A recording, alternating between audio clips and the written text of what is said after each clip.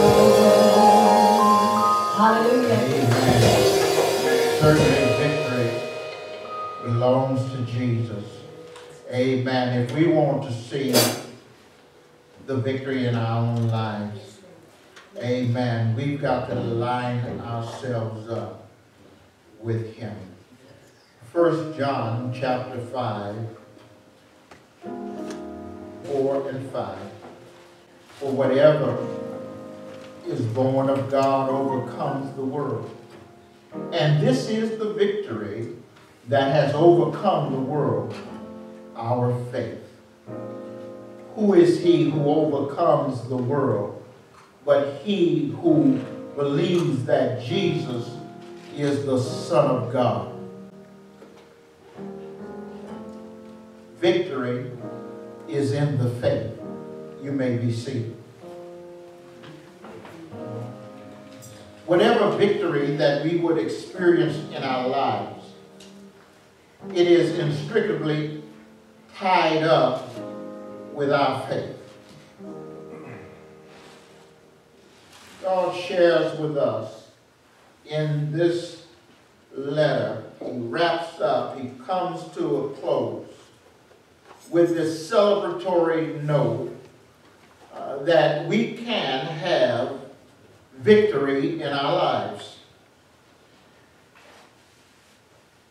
As he, as he talks to us in this fifth chapter and he shares with us, he talks about victory and he shares this word several different times within just a couple of verses.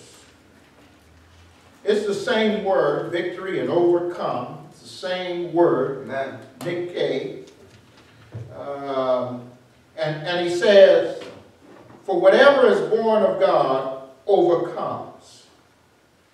And then he says, in this is the victory yes. that has overcome. And then he says in verse 5, who is he who overcomes? And so this repetition, both in an aorist tense, uh, relating to our present state based on our past actions. He looks at us as overcomers. Amen. And he then takes it to the place of our future and he talks about the fact that we are in a position to constantly be overcoming. Yes, yes, yes. Uh, and with all of this talk about having overcome and overcoming in the future, uh, it, it ought to lead us to want to know how we can get in on this idea of victory. Yes. It ought to put us in a place where we would want to know how can our lives represent that of an overcomer rather than one who feels defeated, washed up, lost, with no hope.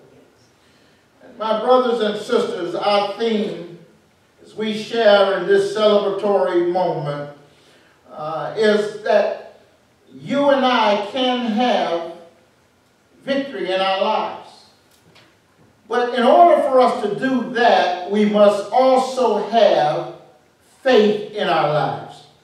When you look at these first five verses, there is this constant repetitive theme of believe. This idea of faith.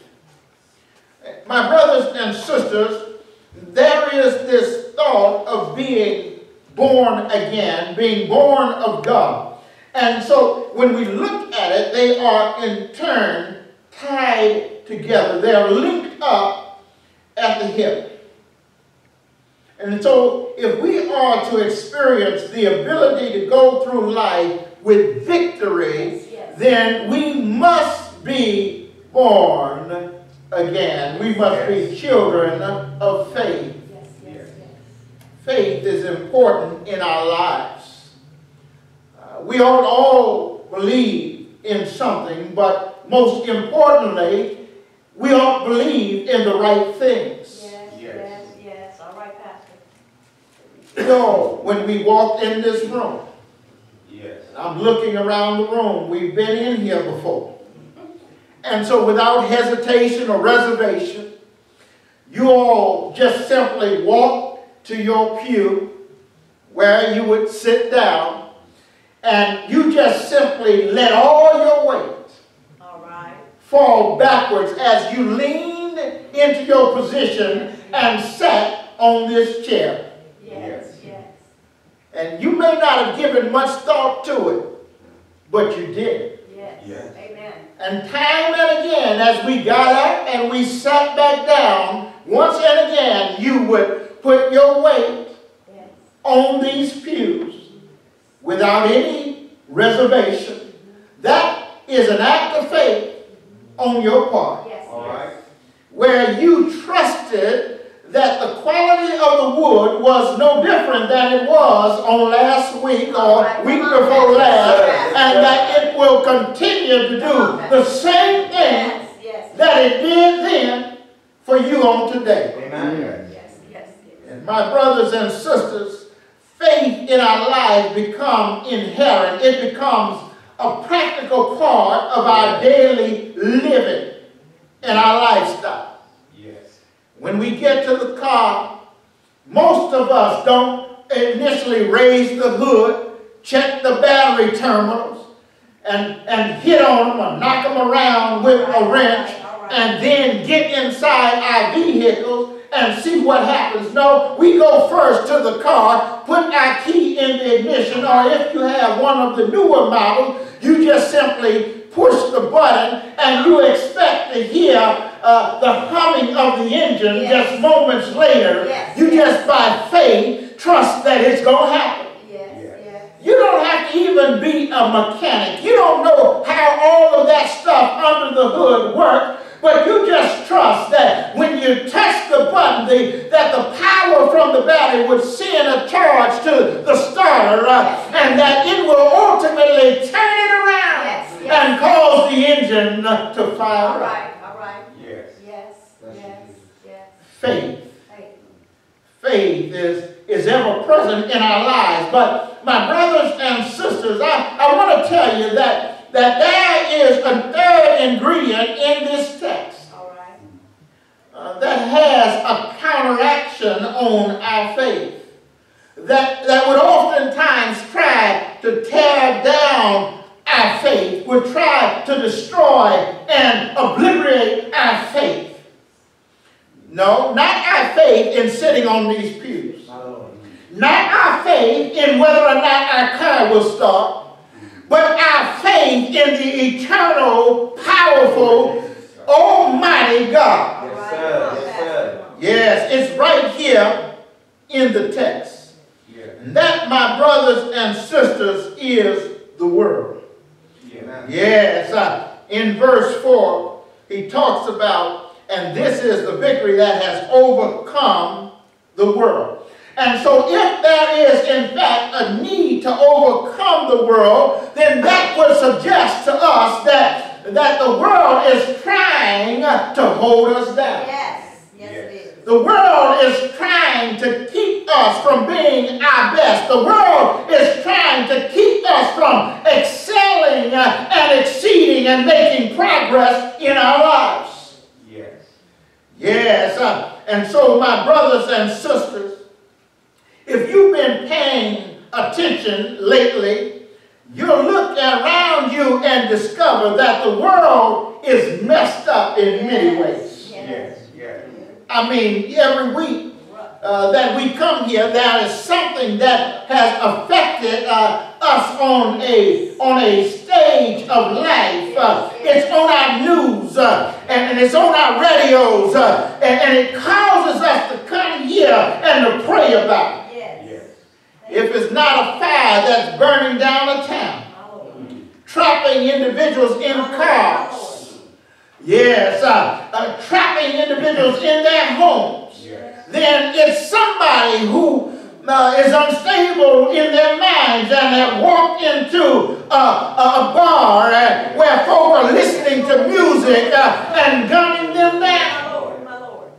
Lord, my Lord. If it's not that, it's somebody who's using their vehicle as, as a weapon uh, and driving through a crowd and mowing down folk. Come on, Pastor. Yes. Yes. Speak. world and we discover and realize that the world in many respects is messed up. Yes. Mm. First John chapter 2 in this same letter of John. Verse 16 says this, for all that is in the world. And he goes on to describe what's in the world. The lust of the flesh, Yes, the lust of the eyes, Yes. and the pride of life. Right. He says, it's not of the Father, but is of the world. Yes, my brothers and sisters, that pretty much summarizes what is going on around us. And that, my brothers and sisters, kind of helps us uh, to see why it is that folk do what they do and live the way they live. Yeah. Yes. Yes, uh, it's this flesh uh, that we're enclosed in. Yeah. Yes. That has carnal desires. It, it's these eyes that are lustful in nature, uh, that sees stuff and it wants it, that causes us to envy what other folk got. Uh, and we, because the Joneses got a new ride, we got to get a new ride. Can I get a witness? Uh, yes, uh, because our cousin got a new house. Uh, yes, we got to outdo them uh, and try to get a bigger house. Uh, can I get a witness up in here? Yes. Uh, and, and, and so he says, uh, between these three, uh, we can summarize what is going on uh, in the world all around us. Yes. Yes, ever since the fall of man and original sin was introduced into the world, things uh, aren't the way they used to be. Yes. Yes, God made it, put his stamp of approval on it and said it's Yes, good. it did. Yes, it. Yes, but when we look around, we see tribulation. Yeah. When we look around, we see disruption, uh, we see dismay, we see things that are falling apart. Uh, we don't have to even go far. We can just look at ourselves in the mirror, and we ain't what we used All right, all to be. come. Can I get a witness up in Yes, here? sir. Yes, used to be able, uh, yes, uh, on the spur of the moment, uh, just run miles after miles. Uh, yes, uh, used to be uh, able uh, to play volleyball, uh, yeah, and spike it hard over the net. Can I witness here? Uh, yes, used to be uh, able uh, to do a whole lot of stuff, uh, to stay up all night, get up the next morning. Uh, but I tell you, those days ain't what they used to be. Yes. Ah, Yes. yes, we, we live in, in a world that is shattered. Yes. All right. Yes. Uh, matter of fact, uh, the world got so much going on that God had to send a flood Uh-huh. Yes. to get man's attention. Uh, yes, uh, because man was straying from him. Yes. Yes, uh, he had to scatter men over the face of the earth and confuse the language uh, due to man's futile attempts to compete with him. All right, all right. Yes, uh, the world is hostile to God. Yes. Yes, uh, I'm talking about the world at its core. Uh, yes, uh, the world in raw form. Yes, John 15, 19 uh, helps us identify with that when he says, if you were of the world. The world would love its own. Yes. Yet because you're not of the world, uh, because I chose you out of the world, therefore the world hates you. That's right. Yeah, it's just hostile toward God, hostile towards the things of God. And, and if you don't believe me, just go on your job and just say, praise the Lord. Well, Can I get a witness? Uh, Yes, uh, you just go down to the lunchroom, uh, bow your head, uh, and begin to thank God for your meal. yes. Come. Yes, uh, and, and it won't be long before somebody starts whispering. Uh, All right. yes, uh, yeah, who does she think she is? Yes. Yes, uh, who does he think that he is? Uh, some sort of holy roller.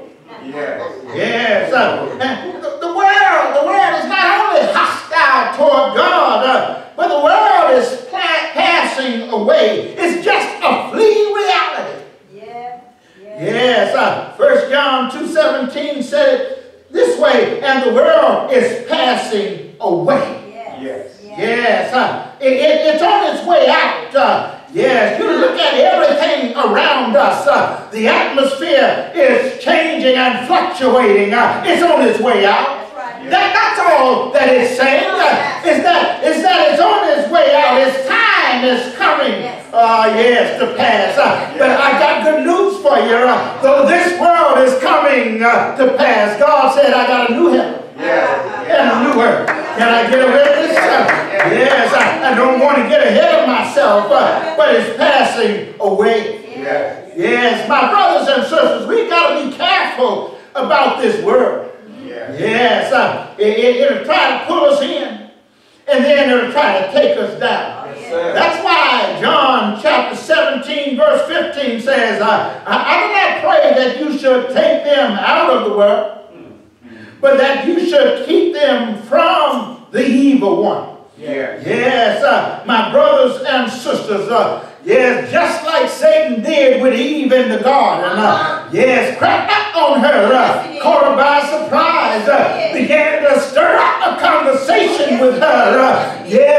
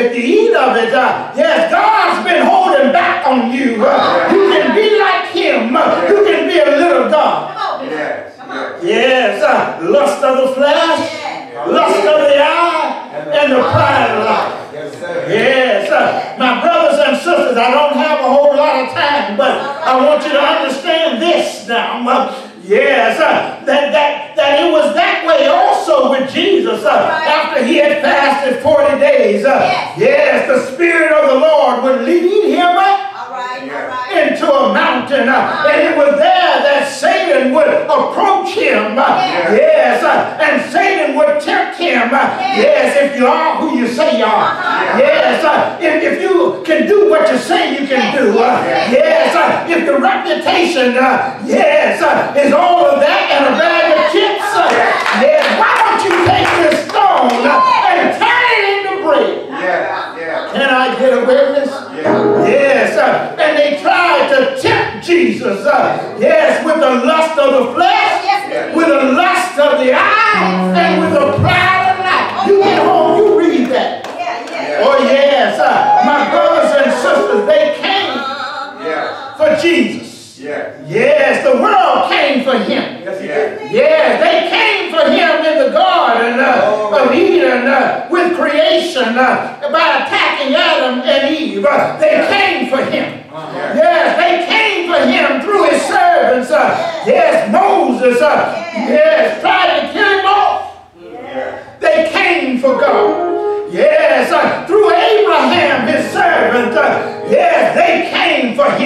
They came for him uh, through David. Uh, yes. they came for him. Yes. They came for him uh, through his servant Shadrach, Meshach,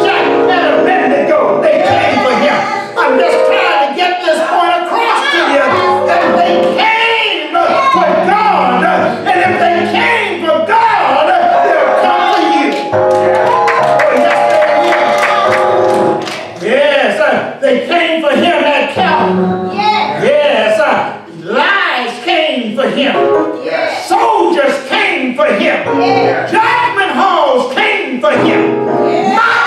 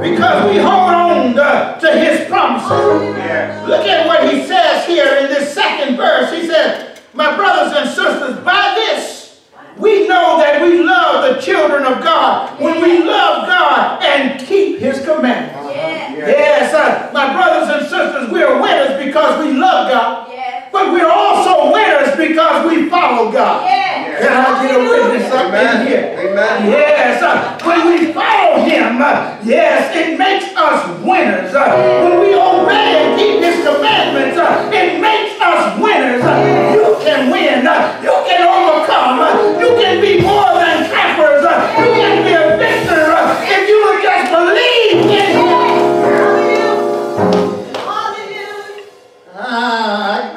Cut across the field. Thank you, Lord. Thank you, Lord. Yes, uh, but God uh, take God takes His command seriously. Yes, uh, He expects us uh, to keep our light burning. Uh, he expects us to keep our fires lit uh, and trimmed. Uh-huh. yes, uh, God wants us to follow Him. Uh, and when we trust in God, look at what God will do to, for you. yes, oh wretched man.